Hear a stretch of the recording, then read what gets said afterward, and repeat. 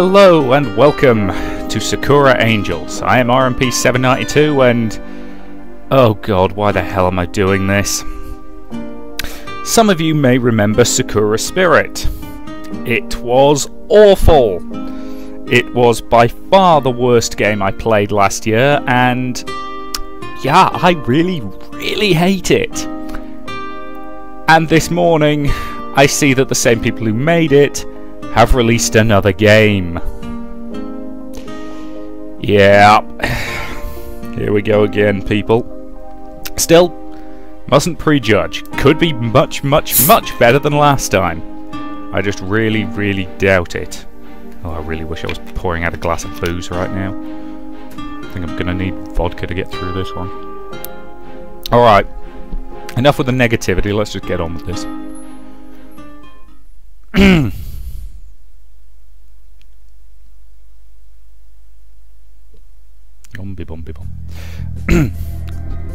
Every night, I have the same dream. Every night, I'm always brought back to this place without fail. And then every morning, I'll wake up with no memory of this place at all and, until the next time I fall asleep. Not a single night has went by without my consciousness being dragged into this abyss. This realm is devoid of light, so much so that I can't even see my hand in front of my face, no matter how desperately I wave it. The concept of sound is just as absent, my steps silent, and my distressed cries swallowed by the bordering darkness as, qui as quickly as they had left my mouth. I'm in a bleak, barren wasteland of nothingness. Spending any prolonged amount of time here begins to make me doubt even my own existence. Despite feeling suffocated by a striking absence of anything. I, I know I'm not alone. Something... Something is watching me. Stalking me from the shadows. I, I can't say for sure what it is, but but every once in a while I'll, I'll catch sight of something from the corner of my view. A pair of burning bright eyes, fixated purely on me. They hate me. Despise me there's an overwhelming sense of animosity radiating from whoever they belong to. I, I know they want nothing more than to lash out and attack me, but, but something is holding them back. A force that they truly despise. Invisible chains that bind and restrict them from the one thing that's on their mind. At first, when I began dreaming about this place, the eyes were distant like glimmering stars. With each passing night, the eyes seem to inch ever closer and shine ever brighter. I think whatever force has been holding them from me is beginning to fade. What will happen when these these eyes reach me? I shudder to think. I know it's just a dream, so I shouldn't be afraid. But everything I experience here is so vivid None of the usual murky haze that shrouds such dreamlike environments seems to exist here at all. I have perfect clarity. I can feel the stagnant, freezing air all around me, enough to incite a shiver out of me every once in a while. Since I'm so used to this dream, I know how it'll end. I'll wade through the darkness for what seems like an eternity, never finding anything, until the morning finally comes and pulls me out of this nightmare. At least, that's how it usually ended. Something is different tonight. Those hateful, burning eyes that I've always kept just out of sight before. I'm suddenly confronted by them. Never before had they been so close. Never before have I stared straight back into them. Their narrowed, piercing gaze roots me to the spot, and a shooting pain surges through me. I can't move. I can't breathe. And then, from out of the darkness, a crooked smile spreads, just as sinister as the eyes. So close. I can practically taste the freedom. It won't be long now. Enjoy the peace while you can, boy, for your days are numbered. And then everything shall change. Oh, that was a bit sinister. Why do people always have massive bedrooms in visual novels? I've got to ask. Oh, oh my head is killing me. These morning migraines are the worst. Every morning without fail. I always wake up to a sensation not unlike my skull being pounded by a jackhammer. Thump, thump, thump. It's almost like a, a heartbeat. Oh, I feel like my head's gonna split open. It's weird though, because even though the pain is so intense, it never lasts long. In the space it takes me to get up and head for school, the pain's usually reduced to just a dull throb at the back of my skull by then. So it isn't too much of a hassle in the grand scheme of things. It certainly isn't a fun way to wake up. Uh, incidentally, if you're getting regular migraines, you know, like that, seek medical advice. Just, just a tip. I just find it odd how consistent it seems to be. Anyway, enough pondering these weird mysteries. It's time to tackle the day. After a moment of wrestling with my blanket, I swing my legs around and drag myself out of bed. A quick look at my bedside clock tells me it's still early. Too early. If I had it my way, the world wouldn't start until at least a good way into the afternoon. But sadly, life just isn't that wonderful. Pulling back the curtains to let the light flood into my room, I suppress the urge to let out a hiss, almost blinding myself in the process. Too bright! The rest of my time getting ready spent fighting with my uniform, a tie becoming all the more problematic to put on when you're half asleep. Oh god, I think I've actually got my hand stuck in it. Almost choking myself to death in the most pathetic fight ever, I finished putting on the tie, the rest of my uniform complying peacefully with me. Unable to find a comb, I settled for just flattening my hair down with my hands. Blinking into the mirror, I'm left staring back at somewhat messy black hair. Yeah, it's close enough. Somewhat dressed and somewhat ready, I stumble out of my room, my legs still not fully awake. Uneven steps carry me dangerously down the stairs, and I soon emerge into the kitchen. I'm greeted by silence. The kitchen's empty. A familiar scene for me. My parents are what you might call workaholics. Basically, they spend more time at their jobs than they ever do here. I never get to catch them during the evening while we're eating, and then everyone's off to bed and the cycle repeats. Don't get me wrong, I understand they have to work in order to keep us living comfortably, so I don't hate them for it. It just gets.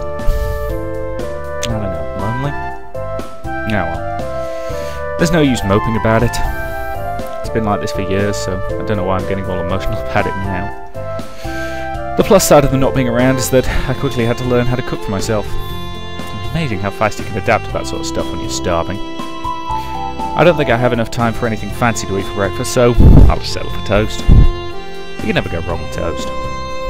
Okay, you might be able to go wrong with toast. I have a sudden traumatic flashbacks to when the toaster erupted into flames. Ah, what a day that was. But I've learned from my mistakes now. It won't happen a second third time. Having devoured the only slightly charred toast, I sling a bag over my shoulder before starting for the front door. I give the empty house one last look over before opening the front door.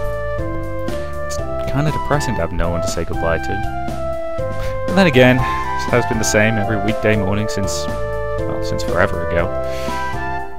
The sun is shining high in a cloudless sky, birds are chirping overhead, and waves of students are passing by, happily chatting with one another as they all make their way to school.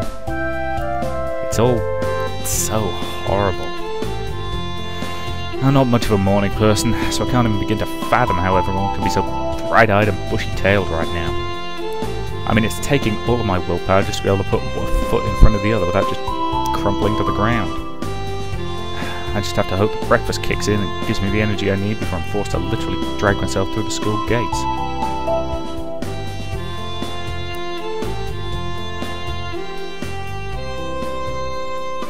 While keeping my head down and my eyes glued to the ground as I soldiered on, I suddenly noticed that the vibrant atmosphere from before is gone. Silence has completely taken over. My steps are the only thing making any noise. The air is still. Huh? That's a bit strange. Bringing my head up, I met with an unsettling sight. The street is deserted. No students. No cars. Even the cheerful chirping of the birds is gone. What?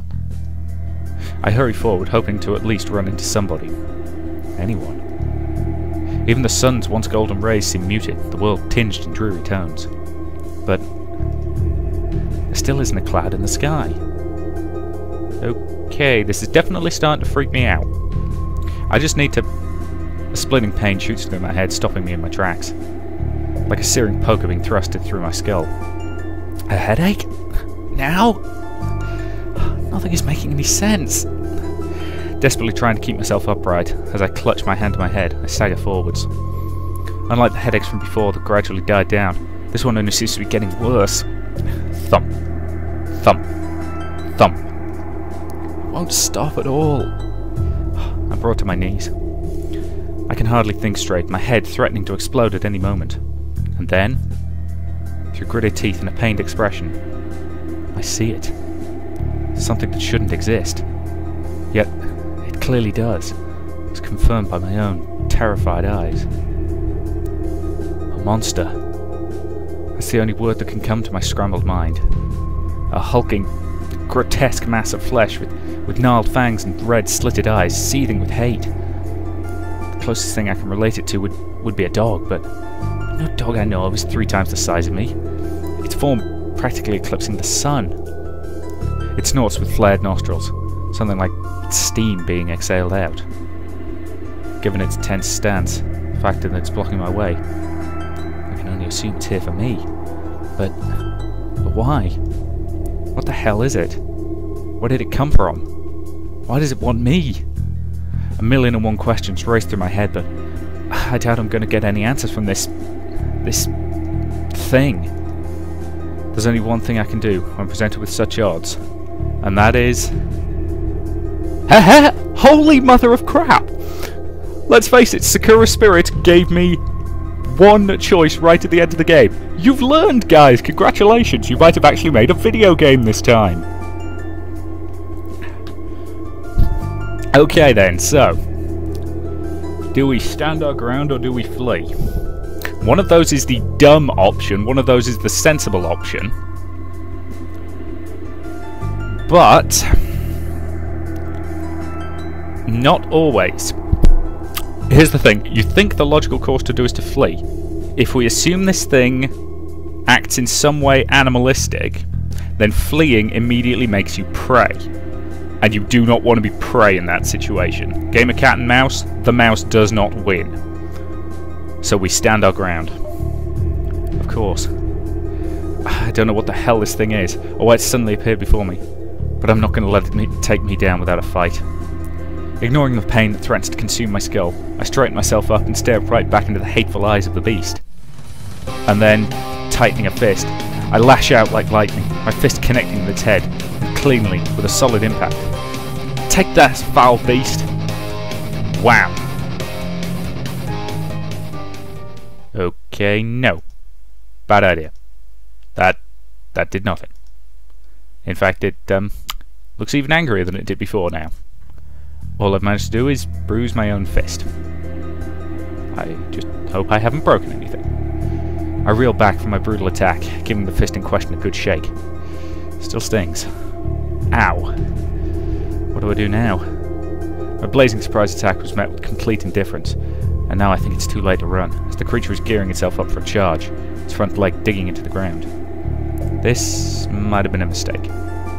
I try to turn tail and begin running, but the beast kicks off to the ground, straight towards me, and there's nothing else I can do. I brace myself as best I can for the inevitable bone-shattering impact. Right before the beast can connect with me, and bring my life to a grisly end, a dazzling, radiant light floods my vision, engulfing both me and the monster. The beast stops in its tracks, a guttural cry escaping it before it vaporizes before my eyes. What the... What just happened? Sheesh, that was a close one. Are you alright? A cheerful voice chirps. A welcome sound after the terrors of that... that thing. Don't talk to him! We have to leave before... And then another voice that's... less cheerful. In fact, they sound angry more than anything.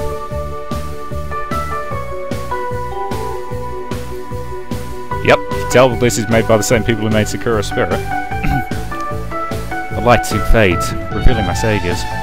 Though, this is definitely the last thing I was expecting.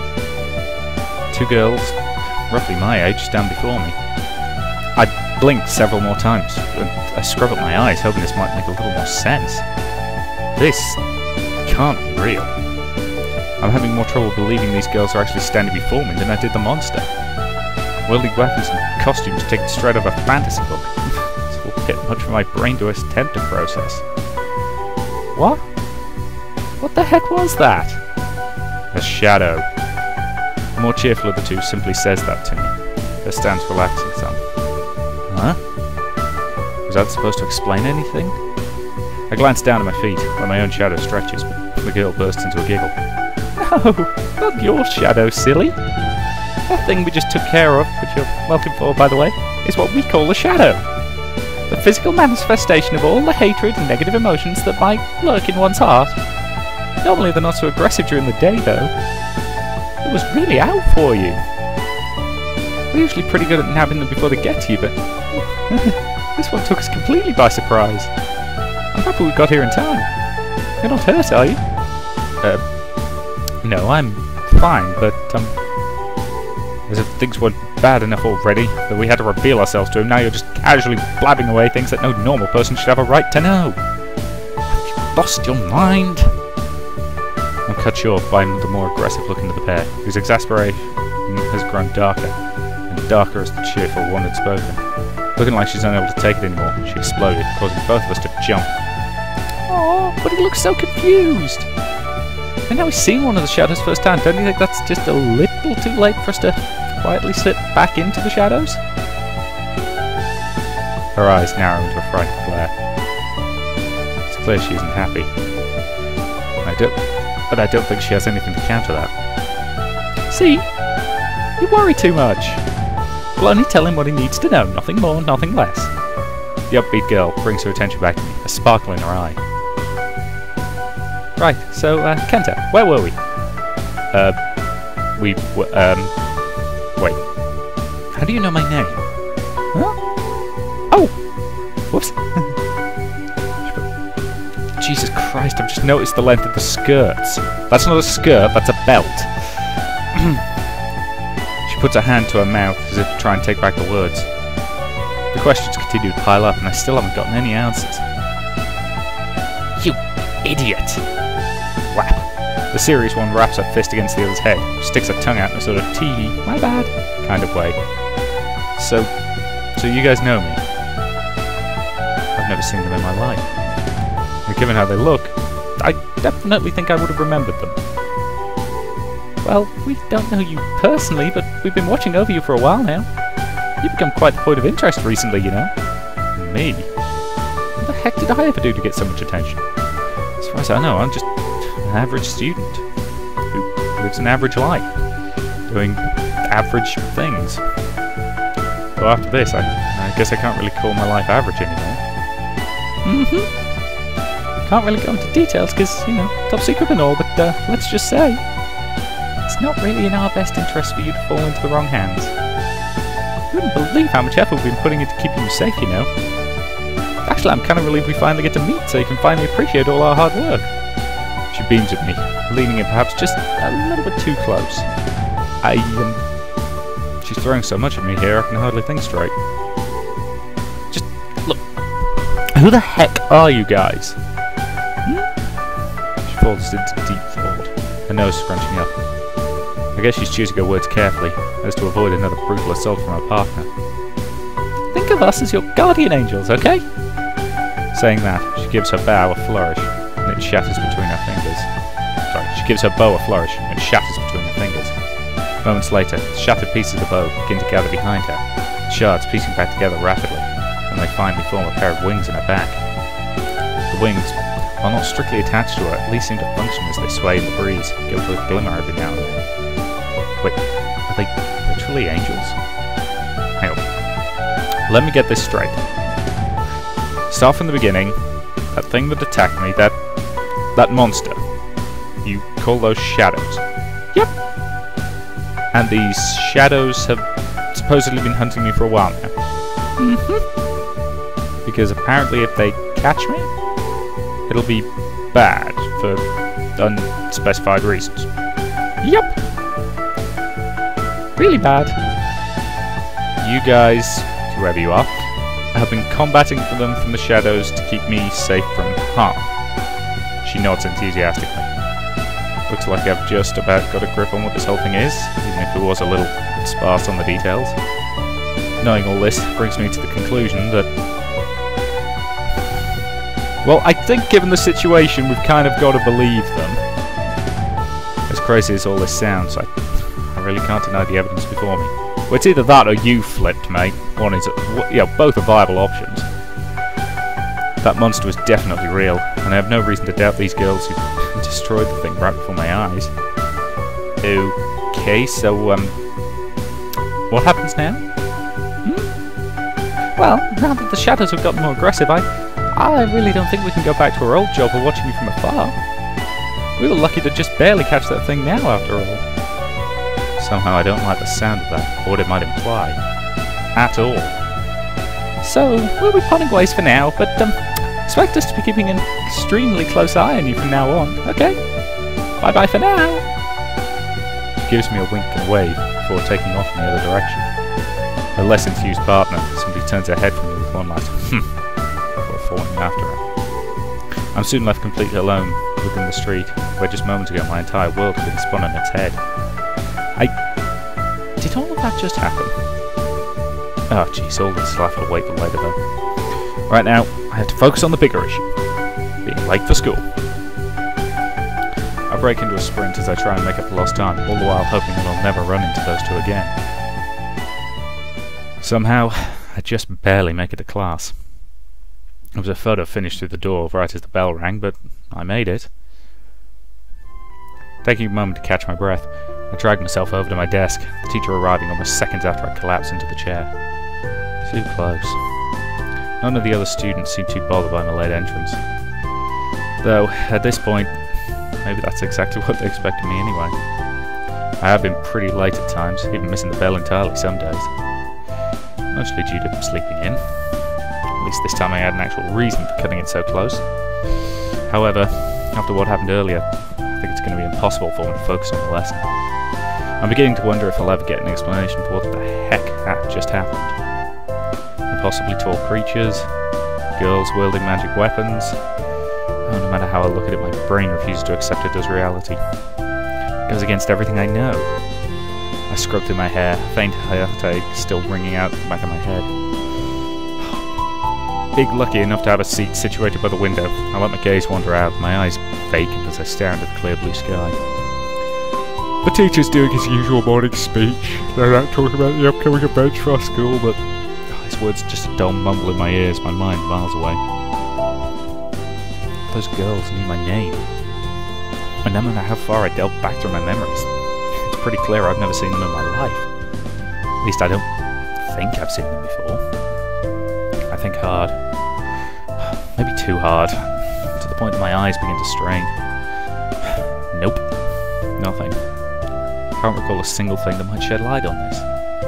Defeated for now, Turn back into the classroom while I'm still keeping my sights set on the sky. The teacher's voice becoming clear once more.